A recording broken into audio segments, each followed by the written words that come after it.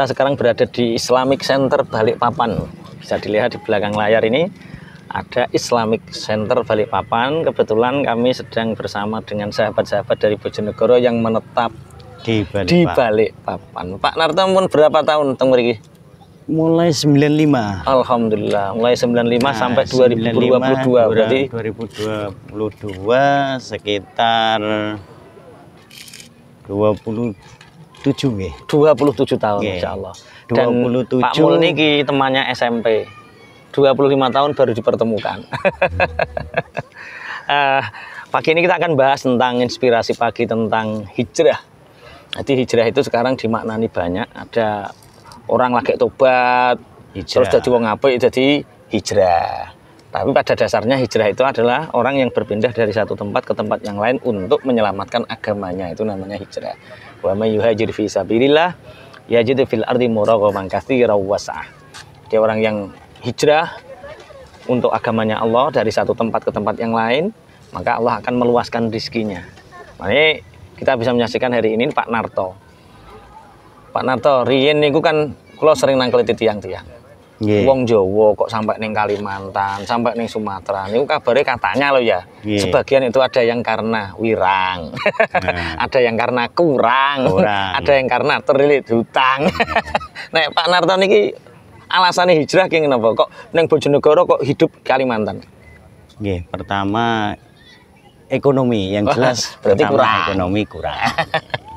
Kebetulan kita dari keluarga-keluarga yang kurang mampu. Oke.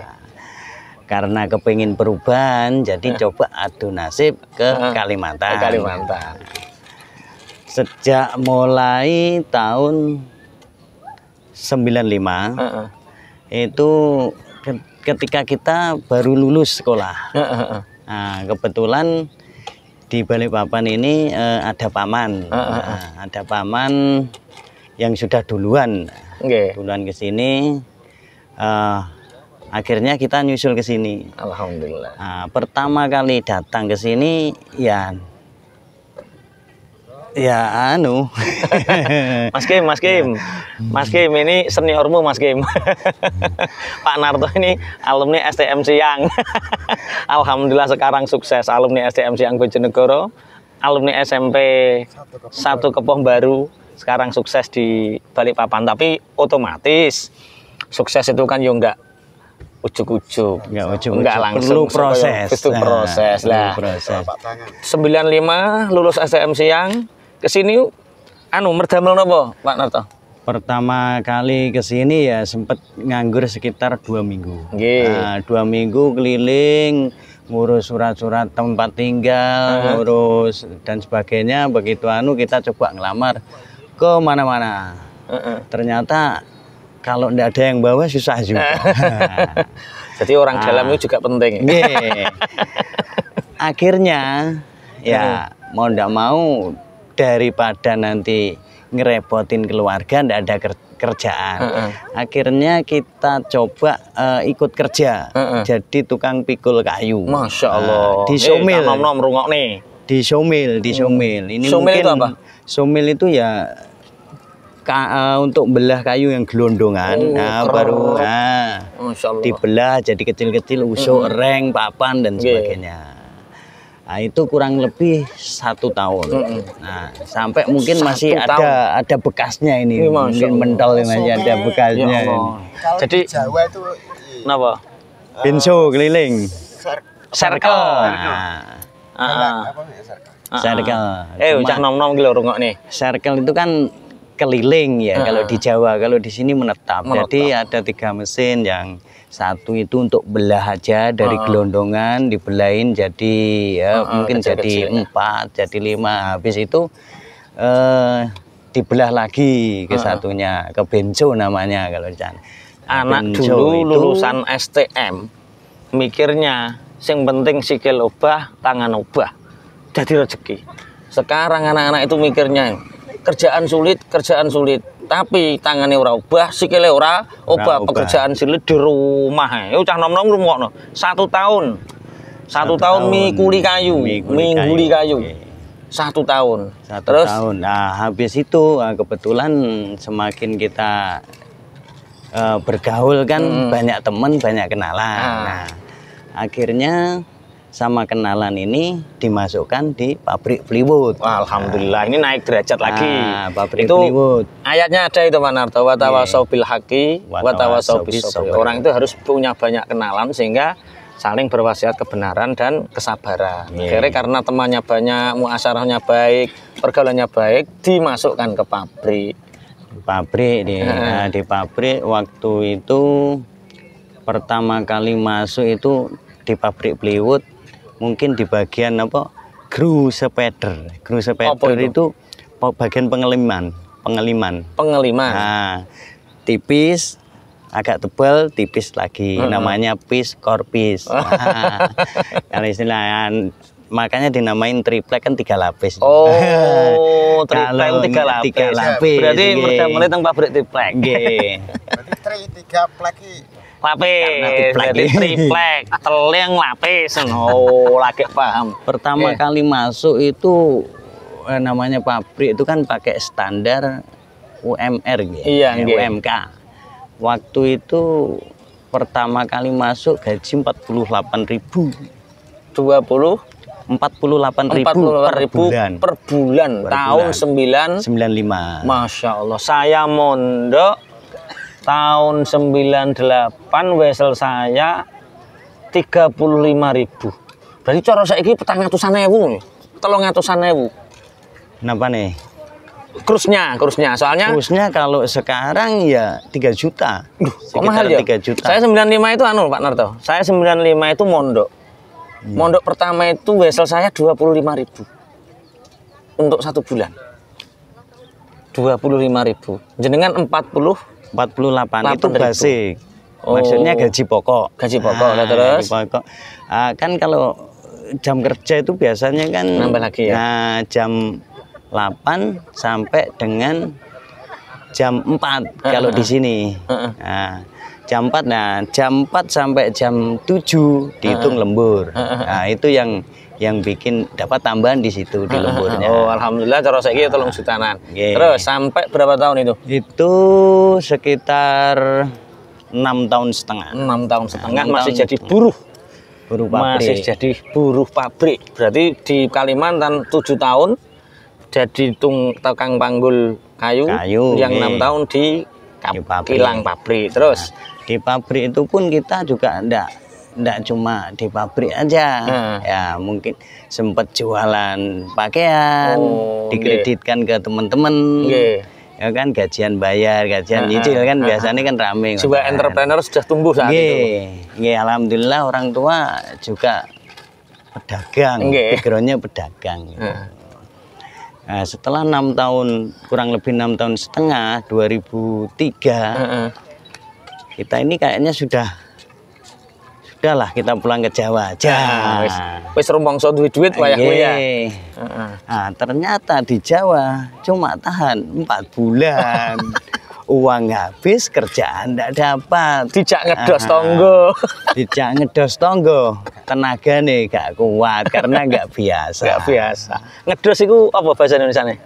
Eh, Manen padi, manen padi, ngerontok, ngarit, nyabit, mikul lah, nggak kuat. Terus Gak kuat. Akhirnya saya telepon lagi teman yang di Balikpapan. Ah. Nah, telepon gimana ada kerjaan kan? Nah, ah, kebetulan temen di Balikpapan ini lagi bangun ruko. Nah, pada saat itu tahun 2004 saya balik lagi. 2004 niku saya digaji bulanan. Mm-mm. 650 sebulan. Masya Allah. nggih. Ah, cuma dipinjamin motor Heeh. karena saya tinggal tidak tidak di situ. Heeh. Dipinjamin motor, nah, dipinjamin motor itu motor saya pakai Ah. ngojek. Oh, nggih nggih nggih. Jadi habis Awan. habis sholat subuh Heeh. saya keliling ya kadang-kadang dapat 5000, kadang-kadang 3000. Ngocek gitu ya? Iya, ngojek sampai jam eh, setengah delapan. Heeh. setengah delapan pulang sarapan berangkat, Berangkat kerja. kerja. pulang kerja jam 5 begitu lagi. Ngojek lagi. Iya, mampir Eh. sambil nunggu maghrib. Eh. Ya kadang-kadang dapat, kadang-kadang nihil. Namanya juga Ikhtiar. ikhtiar. nah, nggih. Di situ sempat satu tahun.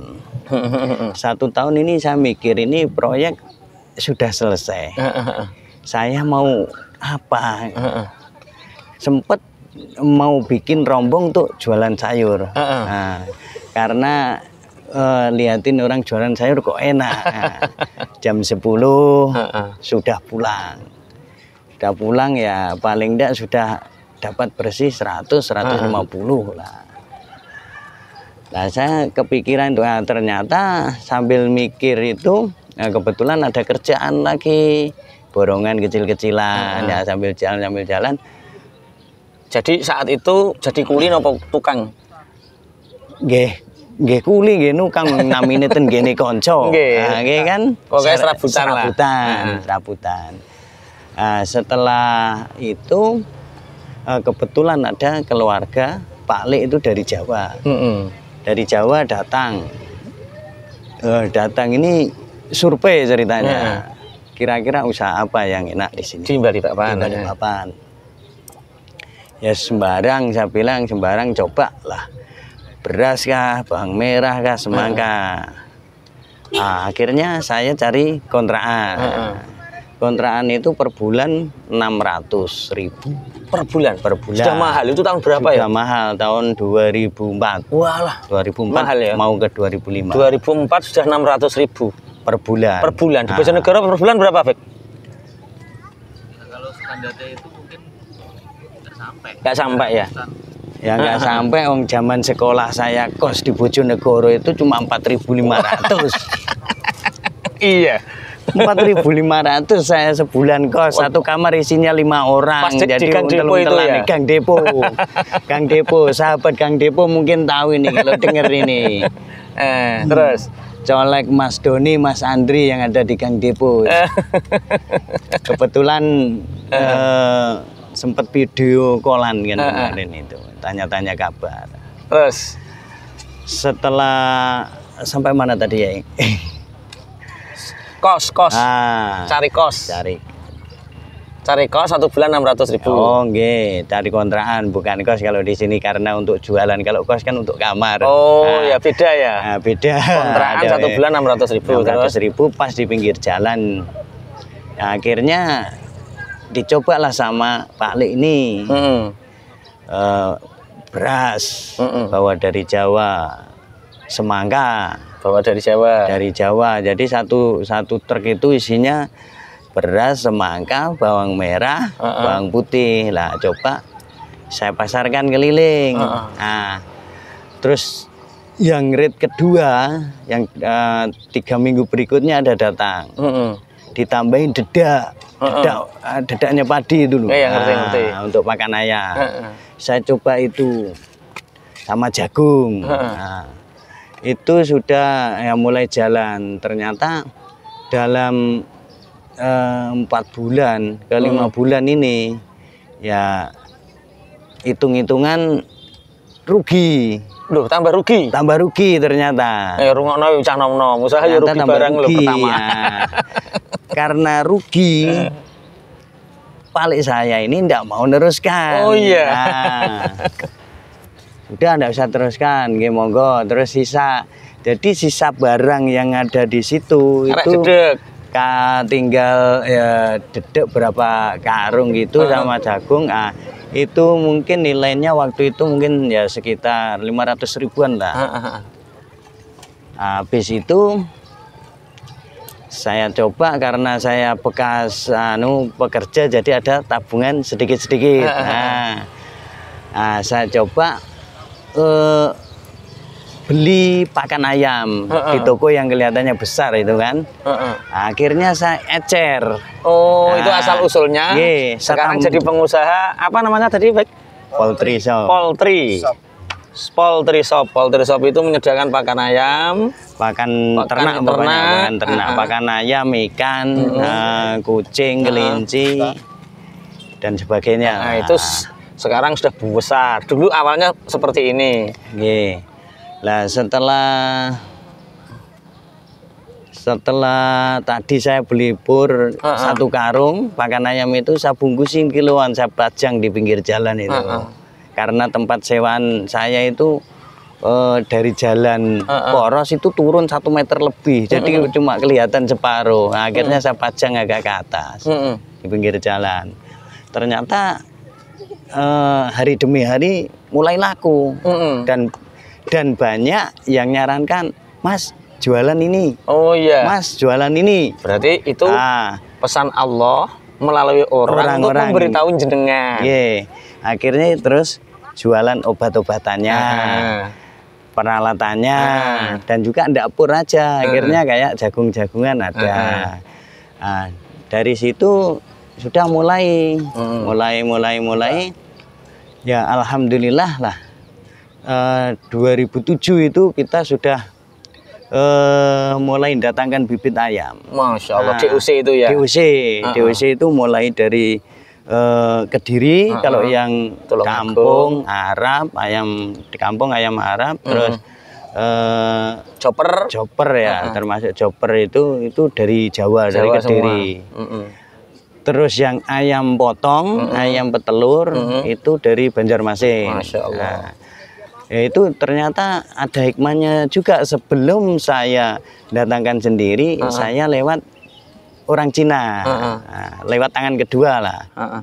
Eh, Delalah tangan kedua ini baru jalan sekitar mungkin sekitar enam bulan, Ah, enam bulan sampai tujuh bulan. Nah, ah. ternyata orang Cinanya ini sakit, Oh iya. nah kena stroke. Oh, kena stroke yang akhirnya ya saya bingung. Nah, di bi- bingung saya ini di waktu saya Kolaan ini, di mana? Ah, nggih. akhirnya eh, saya ingat nomor sopir yang muat ini. Oh, Nah, iya. Begitu dapat nomor sopir Ah, ah. ini saya minta nomor bagian marketing perusahaan. Perusahaan, Nah, oke. saya coba kontak sendiri ke sana. Nah, begitu saya kontak ke sana untuk pertama kali pengambilan kan Minim order. ah harus pakai DP dan sebagainya. Ah, ah. Nah, itu kita coba sudah kita lalui ya alhamdulillah perusahaan lama-lama lama mulai percaya. Mm-mm. Nah, mulai percaya ini perusahaan menyarankan paling lama pembayaran tiga hari setelah barang datang. Iya.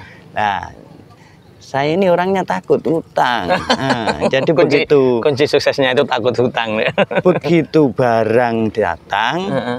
ya ada ndak ada langsung saya bayar. Heeh. Laku ndak laku barang yang saya ambil atau masih diutang orang, Bayar. tetap saya bayar dulu untuk menjaga Nama. kepercayaan. Nah, ya alhamdulillah lah. Eh, 2007 itu Awal kebangkitan. ah, awal kebangkitan. Mm-mm. Sering ikut, alhamdulillah sering ikut ngaji, Mm-mm. sering ikut ngaji. Ternyata bilangnya Pak Yai Yai itu kuncinya sedekah. Heeh. Nah, dari situlah saya mulai. Heeh. Nah, ternyata kuncinya memang di sedekah karena sudah saya praktekkan sendiri gitu loh. Nah, waktu itu pertama kali itu eh, kita dimintain eh pertama kali Hmm. kebetulan ada pembangunan eh, masjid. Masjid. Nah, Masjid Al-Falah tadi. Al-Falah tadi itu dulu kan kayu kecil. Hmm. Nah, ternyata dia nawarin, Mm-mm. nawarin. Ini sisa dua kapling. Mm-mm. Satu kaplingnya waktu itu 50.000 ribu. Iya. Nah, ya sudah saya ambil Dua kapling. dua kapling 100.000 ribu. Mm-mm. Dapat satu kaplingnya itu 30 meter persegi, 30 senti. Iya, 30 senti bukan 30 meter, 30, 30 senti. senti. Jadi sama penggaris itu pas. tekel, tekel. Pas itu dua kapling. Nah, dari situ mulai oh ternyata habis itu ada aja. Nah, rezeki ini alhamdulillah lancar. Jadi kesimpulan dari sebelum menjadi poltri 94 sampai 2007 itu bersusah payah berapa tahun Ibu? 94 sampai 2007. Masya Allah. 96 tambah 7 6 tambah 7 13, 13 tahun. tahun. Jadi masa perjuangan Pak Narto untuk bertumbuhnya sebuah perusahaan itu 13 tahun satu tahun menjadi kuli enam tahun menjadi buruh pabrik. buruh pabrik. Setelah tahun ketujuh baru mulai startup latihan dagang. Latihan latihan dagang. bangkrut di enam bulan pertama. Setelah itu baru menemukan oh yang cocok sama beliau itu ternyata poultry itu. Dedek, dedek, jagung, jagung. dan lain sebagainya. 2007 mulai bertumbuh. Tapi pertumbuhan itu tidak eh, semata-mata pertumbuhan tapi beliau dekat sama kiai dekat sama ulama. Sarannya adalah kunci dari keberhasilan adalah sedekah. sedekah Akhirnya beliau memperbanyak sedekah. Terus setelah itu setelah 2007 bisa eh nikah tahun pinten? kulo nikah 2000 2001 Oh, berarti bojone ya cek melok rekoso ya. nggih Kok kondang pas wayah sukses. Boten. Bojone niku malah sempet sadian bawang merah dibungkusin sekiloan keliling kampung. Masya Allah. Terus apa bawa pakaian spray apa itu keliling kampung Masya jalan Allah, kaki. nggih. Kebetulan ya kampung-kampung di perumahan kan tidak jauh ya sambil Lho, olahraga Cah lah. nom-nom dirungokne, ngono kuwi dirungokne. Hasil tidak pernah mengkhianati proses yang ngono kuwi. Keliling loh, coba bayangno. Jauh dari Jawa ke Kalimantan.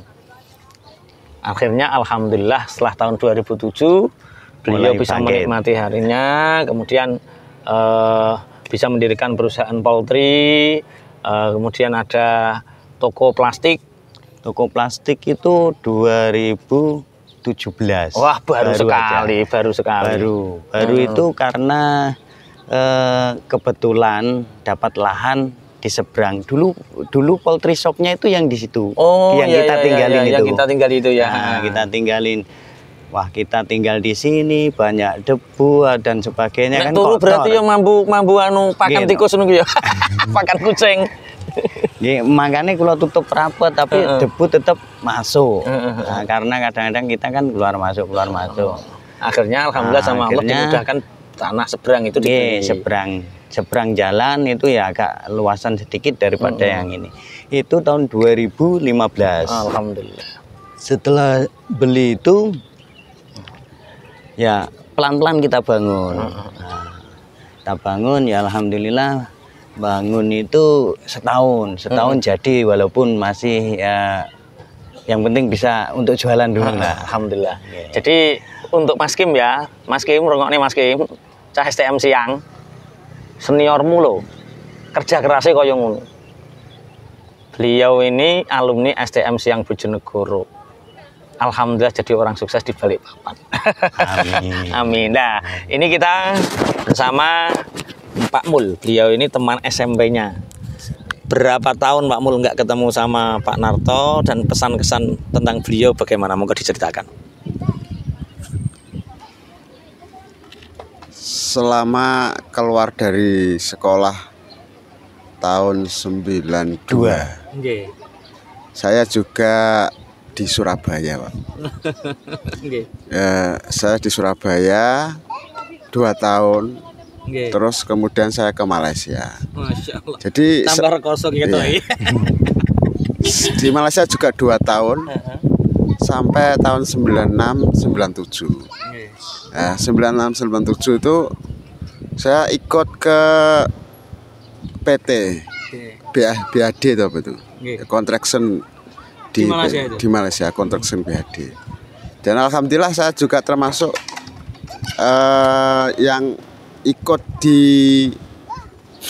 News Trust Team eh, perusahaan Amerika Serikat Nggih. yang berusaha di koran Heeh.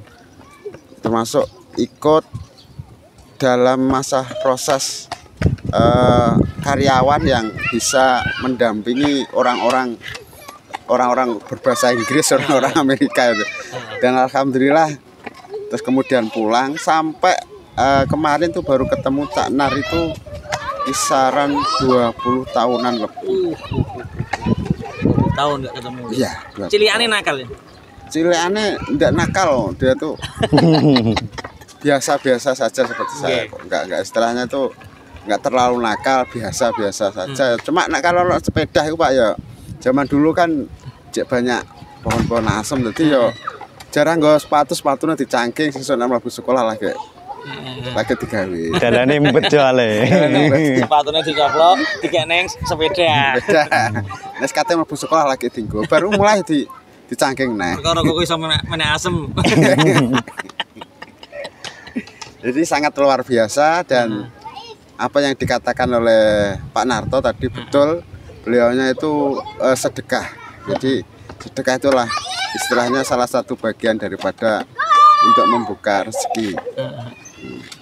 Dan saya yakin eh, dengan usaha kita harus pas, pasti harus pakai usaha insya Allah dengan doa dan sedekah semuanya akan bisa berjalan dengan mudah.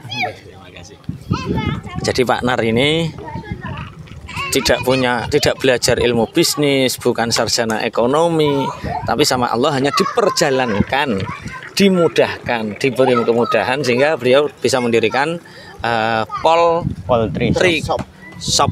Poultry shop. Sehingga alhamdulillah membawa banyak keberkahan untuk beliau dan keluarga dan membanyak eh, membawa keberkahan bermanfaat untuk sesama.